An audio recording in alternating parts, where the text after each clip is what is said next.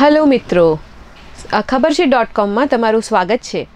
હું penal, story પેન્ડોરામાં વાર્તા લઈને ફરી આવી ગઈ છું તમારી સમક્ષ. આજે આપણે વાર્તા સાંભળીએ. કદાચ તમે બધાએ સાંભળી પણ હશે, પણ ભૂલાઈ ગઈ હશે. બુદ્ધ ભગવાનની આ વાર્તા છે. એક માતા હતી, એનો એક નવ વર્ષનો પુત્ર હતો. ખૂબ જ સારી રીતે એને મોટો કરતી હતી.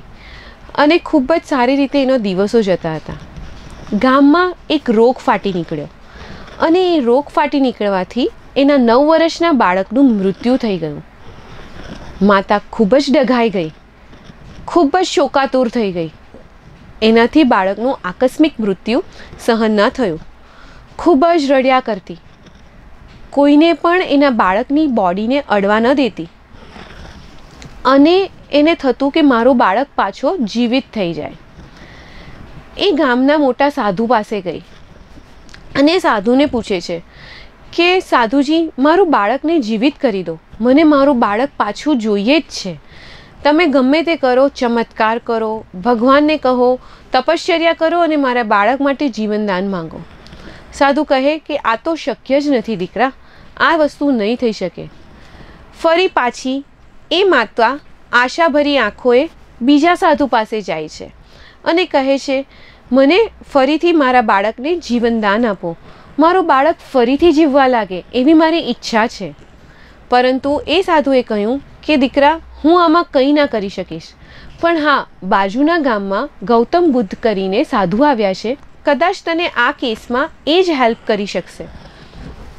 માતા તો બાળકનું બોડી ઉચકીને ખૂબ આશાભરી નજરે ગઈ બુદ્ધ ભગવાન પાસે.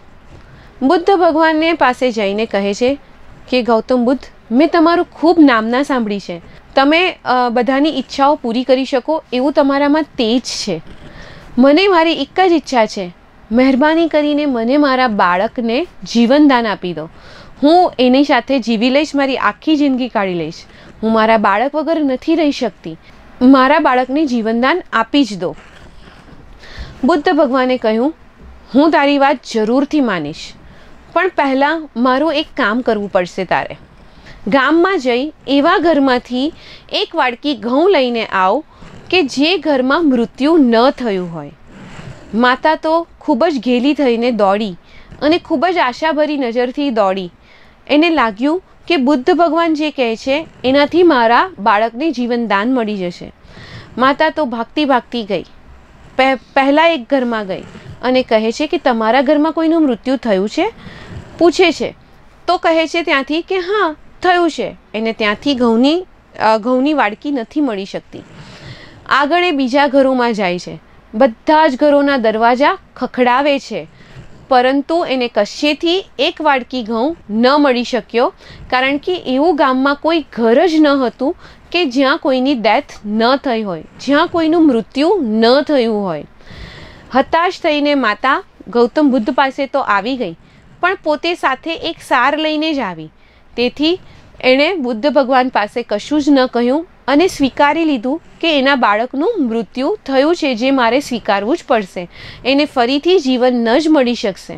તો વાર્તાને વાર્તાને ગમે તો તમે લાઈક કરો, શેર કરો અને સબસ્ક્રાઈબ કરો અમારી ચેનલ માટે. અને આ ઉપરાંત આ વાર્તામાંથી તમને શું શીખ મળી એ નીચે કમેન્ટ પણ કરો. આવજો!